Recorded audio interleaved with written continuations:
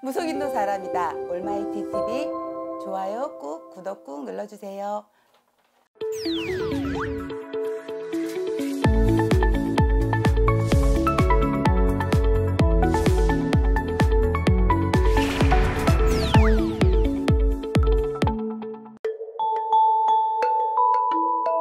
네, 저는 인천에 거주하고 있는 금대신당 만신이라고 합니다. 처음 뵙겠습니다, 여러분. 가만히 있어도 대박 나는 띠에 예. 음, 대박 나는 띠 있죠. 20, 2020년 경자년 맞이해가지고 대박 나는 띠 제가 손 꼽아드리면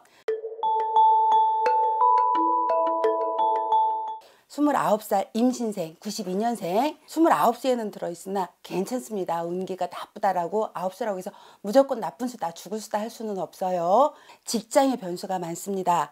어, 능력 발휘할 수 있는 좋은 해운년을 맞았어요. 해가 바뀌면 직장의 운기도 바꾸고 내가 하고자 했던 일들 서슴치 마시고 걱정하지 마시고 많이 재지 말고 옮겨도 되고 자 새로운 사업을 시작하고 싶다 하시는 분은 옮기셔서 내가 그동안 생각했던 거, 계획했던 거 자기 원하는 대로 뜻을 펼치셔도 됩니다. 그만큼의 성과를 받을 수 있는 경자년 한 해가 될 거예요. 자, 41살 경신생 80년생 여러분.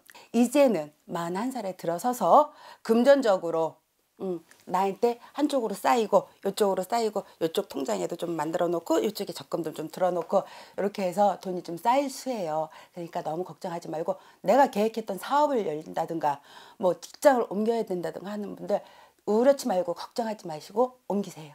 사업도 도전해 보세요. 분명히 거기에 대한 대가가 올 겁니다, 여러분. 자, 그 다음에 53세 무신생 68년생 본인을 여자분들 같은 경우에 본인을 좀 화려하게 꾸미세요. 토생금이라고 했습니다. 흑의 사주를 갖고 있기 때문에 금을 몸에 지니면 자기한테 어느 정도 행운이 들어오는 적이에요. 그러니까 아, 무신생 여러분들은 몸에 금부치를 좀 지니시고요. 여러분들 마음 후를 터시고 올해는 돈을 얼마큼 저축을 할까 목표를 세워보세요. 세워보시면 또 그만큼 성취욕을 느낄 수 있는 한 해가 될 수 있을 겁니다.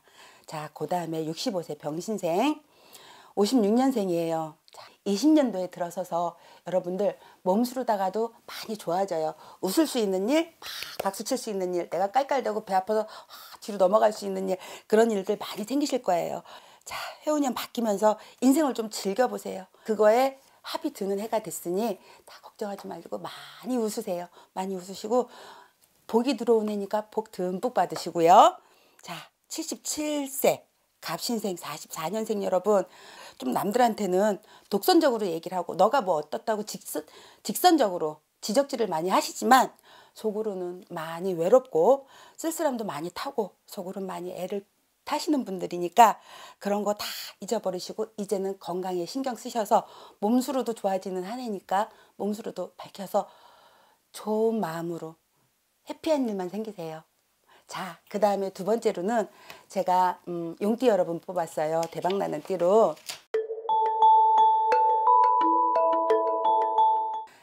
33세 무진생 88년생. 자, 전반적으로요. 이분들 운이 들어왔을 때는요. 누구하고 크게 맞서지 마세요.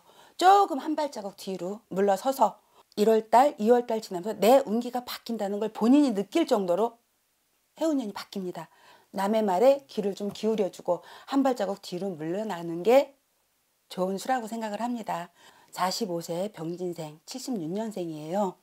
여지까지 쌓아온 거를 바탕으로 해서 본인이 수확하는 해가 된다고 합니다.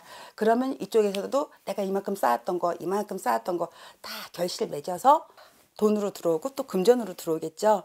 여러분 그러니까 걱정하지 마시고 마음 먹은 대로 강하게 힘내서 화이팅 하세요. 자, 57세 갑진년 64년생입니다.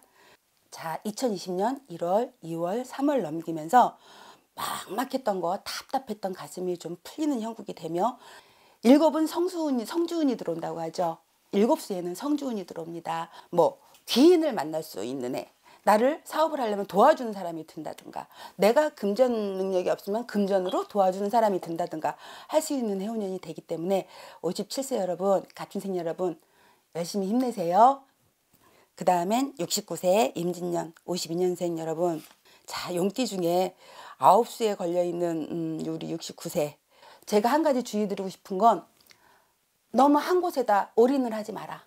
좋은 일이 있을 때는 항상 나쁜 일이 같이 들어옵니다. 그러니까 이 좋은 일이 들어올 때 조금만 한 번만 더 생각을 하시면 내가 이거 좋은 운으로 100% 받아들일 수 있어요.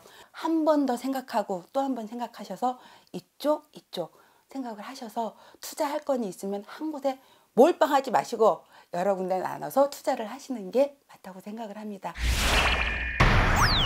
이렇게 생각해서 저 금대신당 만 씨는 자 잔나비띠, 용띠, 자 경자년 2020년도에 들어서 대박 나는 띠 두 가지 띠를 잡았습니다. 여러분 궁금하신 게 있으면 금대신당 만신한테 찾아오세요. 찾아오셔서 제가 사람에 따라 또 얼굴 보고 드는 이 느낌이라는 신점 보는 사람들은 틀립니다. 사람을 봐서 느끼는 점이 있고 또 틀리니까 대신당 찾아와서 금대신당 찾아오셔서 상담하세요. 여러분들한테 힘들게 무리한 요구 안 합니다. 찾아오세요.